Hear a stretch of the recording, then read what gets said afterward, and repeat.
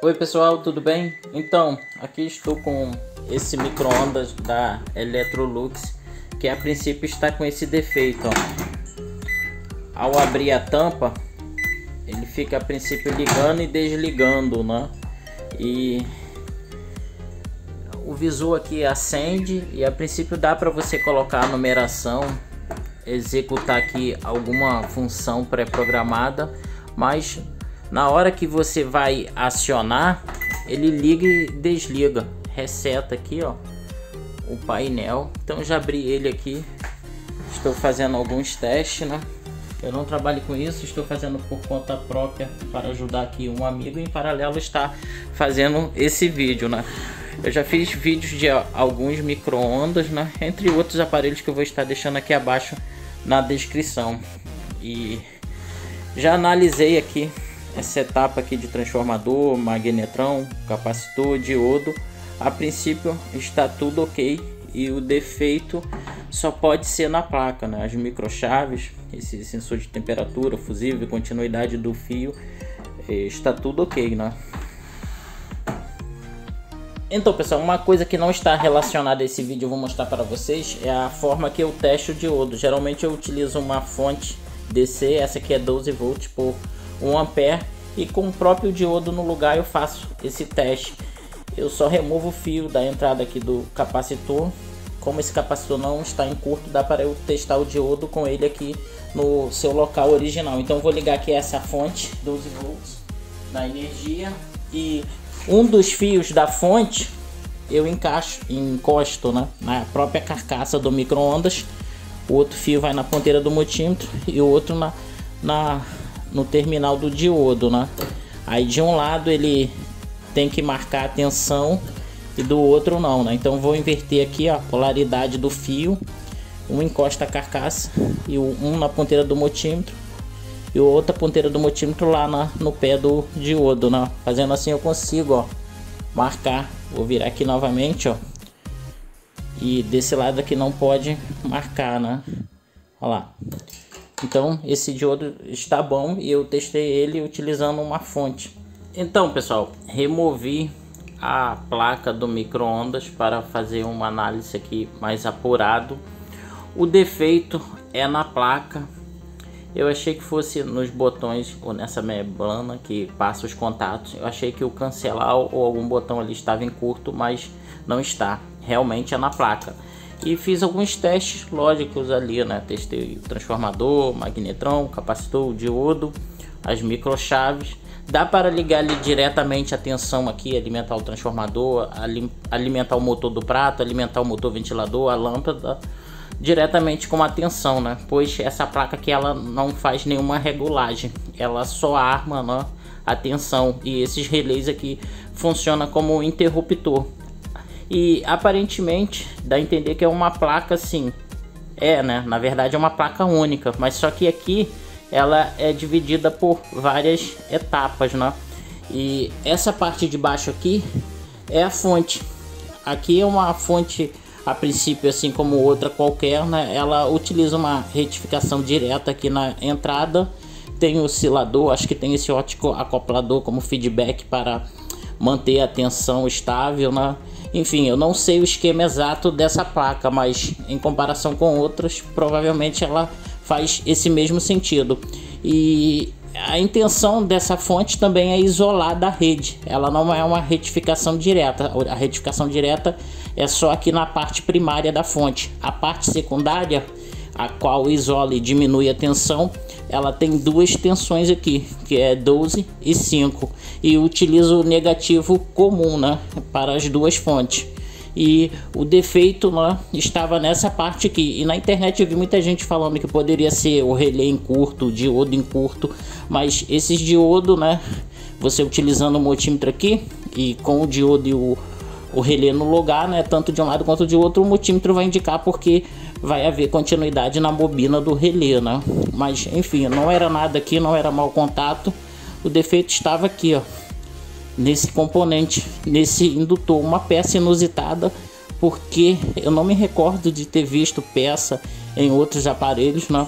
nessa questão de ajeitar microondas é a primeira vez que eu estou vendo de outros microondas que eu peguei eu já cheguei a trocar transformador já adaptei outras fontes né onde eu consegui usufruir o microondas né e enfim vou mostrar aí para vocês né, a solução que eu fiz para contornar esse defeito que aconteceu aqui comigo então pessoal, eu sei que o defeito é aqui na placa, né? ela está ligando, porém não está segurando, pode ser algum curto em determinada área aí da placa, né? pode ser um capacitor danificado, um diodo, entre outros componentes, pode ser várias coisas. Né? É, esse tipo de fonte é similar a várias outras existentes, né? e enfim, se aqui não estivesse acendendo nada, aí eu bolei essa esse esquema aqui utilizando a fonte ATX de computador, onde aqui eu tenho 5 e 12 volts. E aqui na placa tem a serigrafia, né, direcionada a essas tensões. Aqui é um, um negativo é comum, serve para as duas, né, assim como na fonte ATX.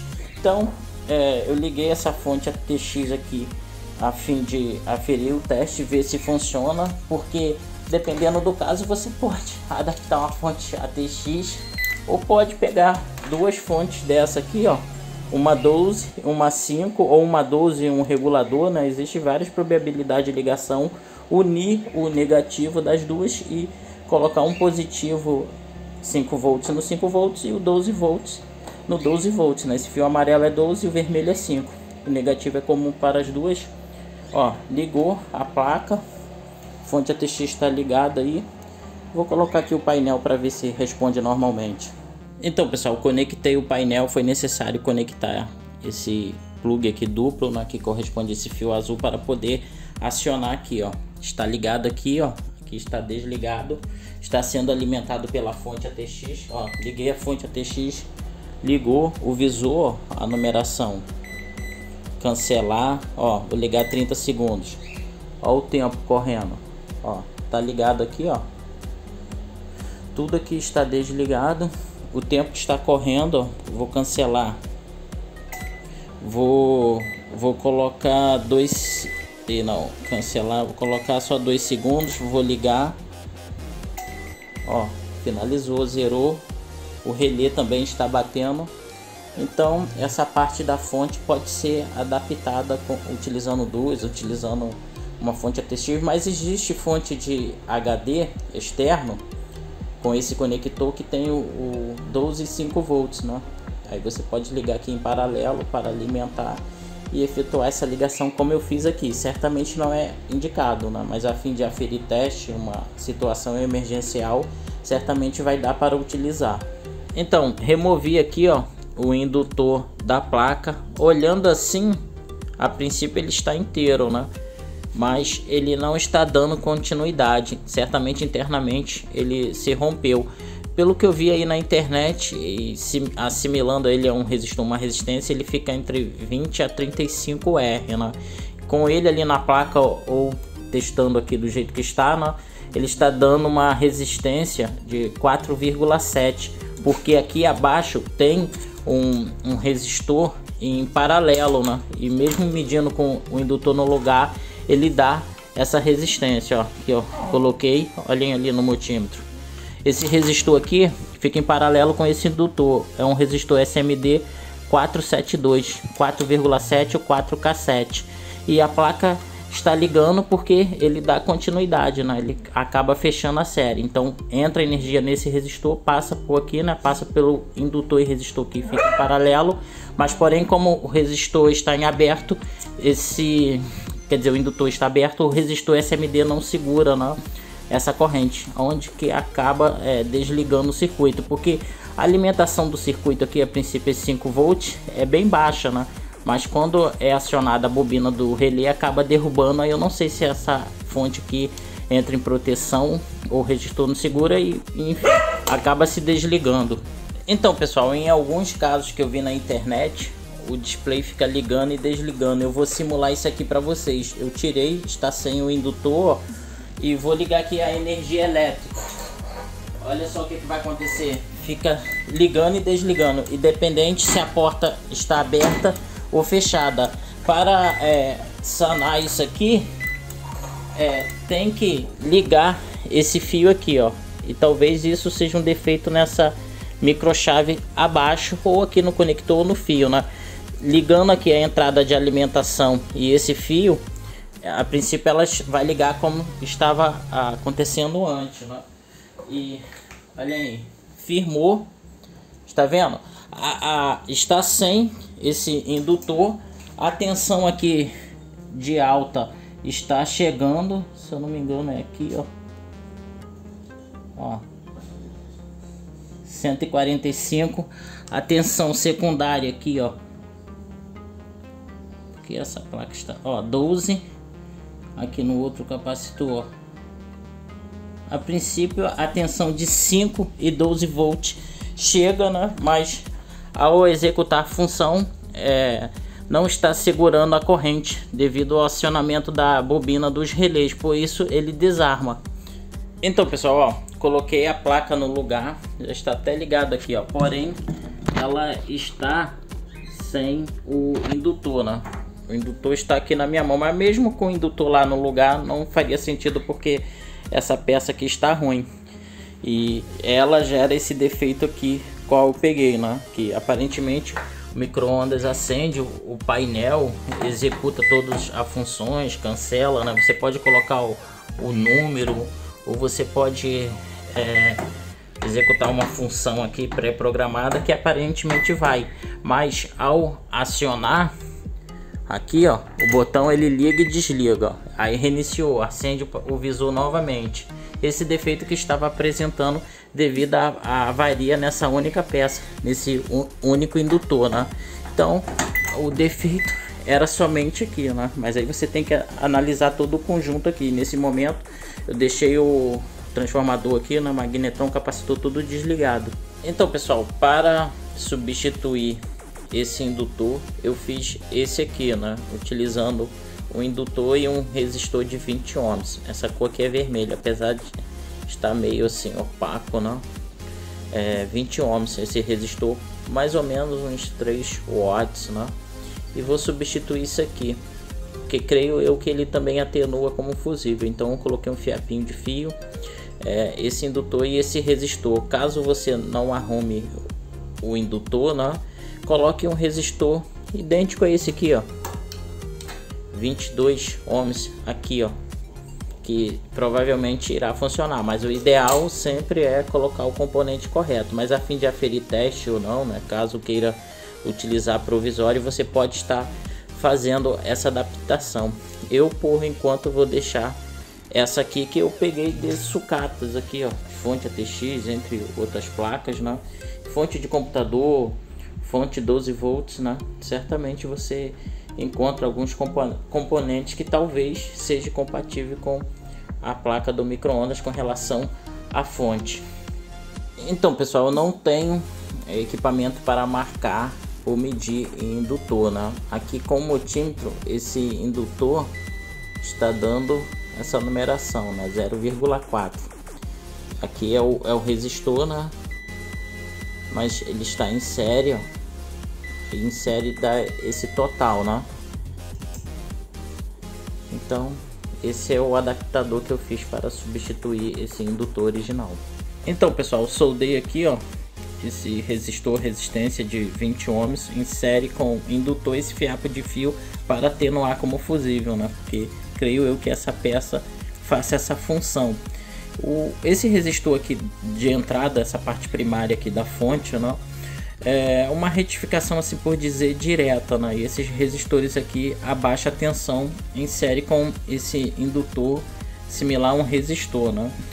E além disso, o resistor SMD também fica em paralelo, né? Então, ao conectar aqui e somando esse indutor, ele tende a baixar um pouquinho, né? E pode colocar um único resistor nessa parte primária que é similar a um filtro LC, né? Porém, aqui, pelo que eu vi, só tem esse indutor e não tem o capacitor, né? É uma retificação direta aqui nessa parte primária, porém a baixa tensão nesse resistor e nesse indutor. Então pessoal, coloquei a placa no lugar, refiz a ligação, mas nesse momento eu vou desligar o transformador, consequentemente não vai esquentar, não vai ligar o magnetron, não vai passar energia pelo capacitor, essa parte está desligada. Em qualquer reparo que faça aqui nessa placa, é interessante ligar o micro-ondas com uma lâmpada em série. Ali eu sei que está bom, né? Mas como é indicado fazer esse procedimento, eu estou ligando assim com essa lâmpada de Croica 12750 watts. Ela está em série com o micro-ondas, né? Mas para testes de magnetron não dá para utilizar essa lâmpada. Pode acabar queimando o fusível ou na hora que acionar o micro-ondas a lâmpada lá vai acabar acendendo. O micro-ondas está ligado, está chegando aqui a tensão em AC, né? Coloquei o multímetro ali, ó. O gatilho que eu fiz está lá abaixo. Aparentemente está funcionando normal. É... Está executando todas as funções. Ó, o painel está aceso aqui, não está dando para captar, né? mas ele está aceso, ó. A luz acesa, ó. Vou fechar a porta. Apagou normalmente, não acionou nada aqui, ó. E mediante aqui qualquer, tô conseguindo pegar. Deixa eu ver que eu tô com o flash ligado aqui, ficou melhor, né? Ó, posso ligar aqui, ó, 30 segundos, ó, ligou, motor ventilador, o prato lá dentro estava rodando e ele se desligou porque eu abri a porta e não voltou, né? Mas se eu continuar aqui, ó, ele religa normalmente, não está mais desarmando. Também posso cancelar. Antes eu estava achando que esse botão cancelar estava em curto, né? Porque no ato ali do acionamento ele já se desligava na sequência, mas a princípio não tinha nada a ver, né? e todas as outras funções estão funcionando. Deixa eu pegar aqui. Cancelar, pipoca. Outra função aí tem que cancelar, né? Batata, cancelar, numeração, ligar, cancelar, ligar. Tudo aqui, ó, tá funcionando normalmente. A luz lá se permanece acesa, o prato tá, tá girando. Então, esse gatilho que eu fiz aí conseguiu solucionar esse defeito. Então, pessoal, chegou a hora de botar fogo, né? Vamos ver se o micro-ondas está funcionando mesmo, né? Porque o reparo na placa foi feito, né? Mas para esquentar e o micro-ondas realmente funcionar, o magnetron, transformador, capacitor, fusível de alta tensão tem que estar ok, né? religuei aqui, ó. Agora está alimentando esse circuito. Não estou mais utilizando a lâmpada em série. O micro-ondas está ligado direto. Se houver um curto, né? Certamente vai queimar o fusível. Coloquei um multímetro aqui para medir. Ó. Aqui o painel. Vou colocar 30 segundos. Deixa eu ver se dá para pegar aqui, ó. Ligou. Lá dentro está rodando um copo com água. Olha a corrente. 13.5 amperes em 127. Está ligado aí, ó.